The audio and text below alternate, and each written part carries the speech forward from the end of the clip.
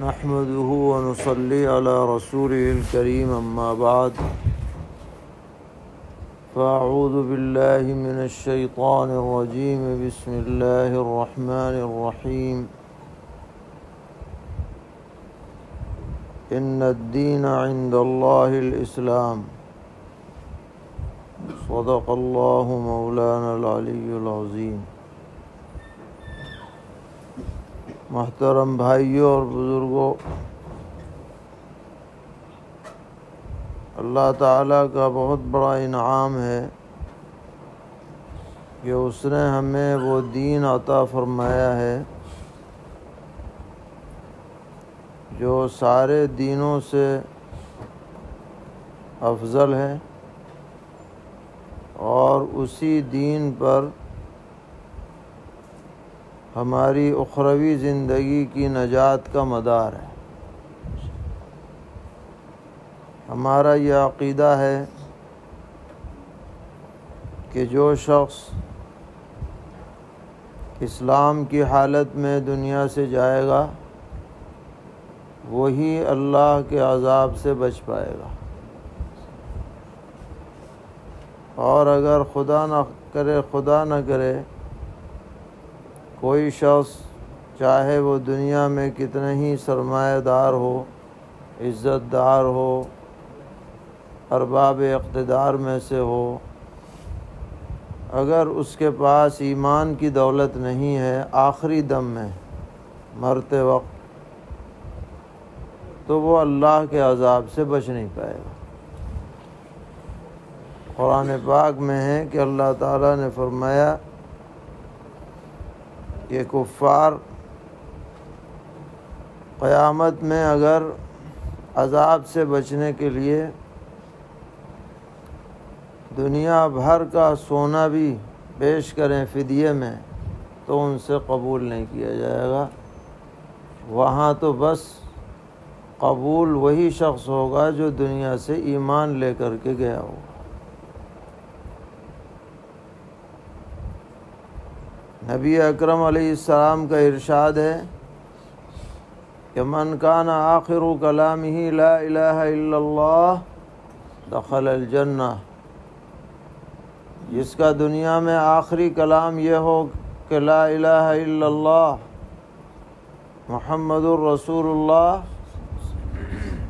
تو وہ ضرور بھی ضرور جنت میں جائے گا۔ انشاءاللہ وہ ہمیشہ کے لیے عذاب میں نہیں رہ سکتا۔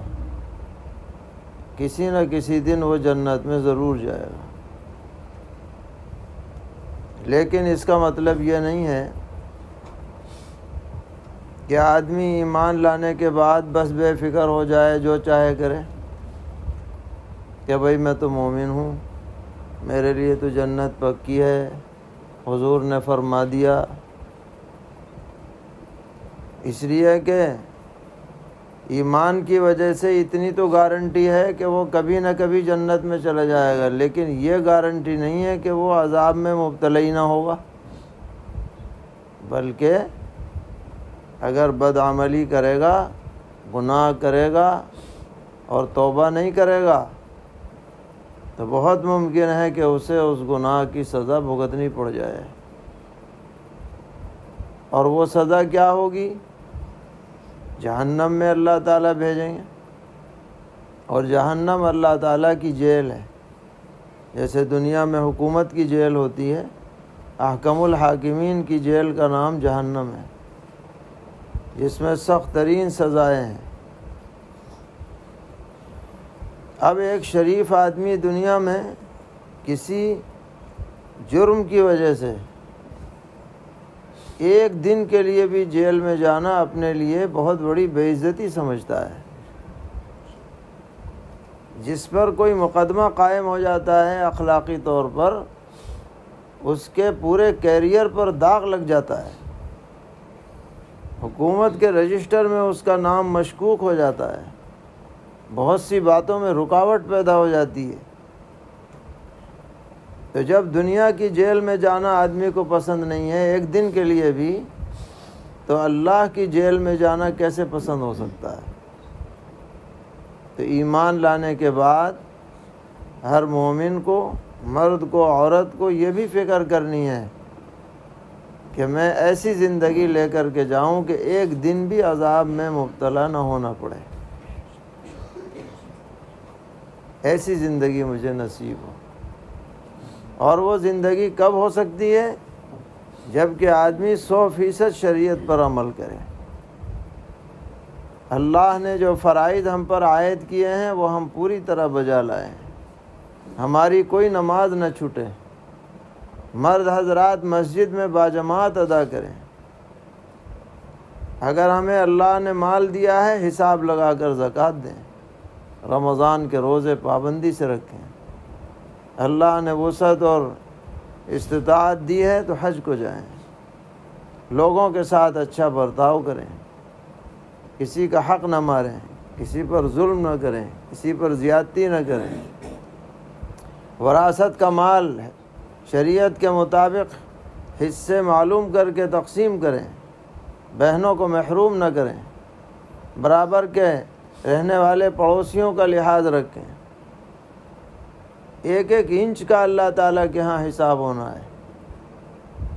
سرور عالم صلی اللہ تعالیٰ علیہ وسلم نے فرمایا، لعن اللہ من غیر منار الارض۔ جو آدمی کھیت کی منڈیر کو اپنی جگہ سے ہٹا دے، اس پر اللہ کی لانت ہے۔ برابر میں دوسرے کا کھیت ہے۔